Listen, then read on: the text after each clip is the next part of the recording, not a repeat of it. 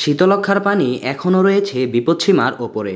ঈদুল আজহাকে কেন্দ্র করে এতদিন নারায়ণগঞ্জের ঘাটগুলোতে নিয়োজিত ছিল ফায়ার সার্ভিসের নৌটহল টিম।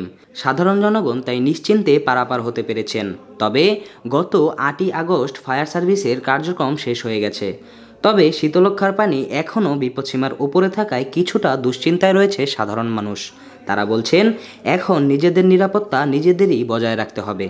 এতদিন ফায়ার সার্ভিস ছিল তো নিজেদের নিরাপত্তা চিন্তা হয় নাই। এখন নিজেদের নিরাপত্তাটা নিজেদেরকে বজায় রাখতে হবে। এতদিন ফায়ার সার্ভিসের নৌটহল টিম থাকায় সাধারণ জনগণকে তাদের নিরাপত্তা নিয়ে চিন্তা করতে হয়নি।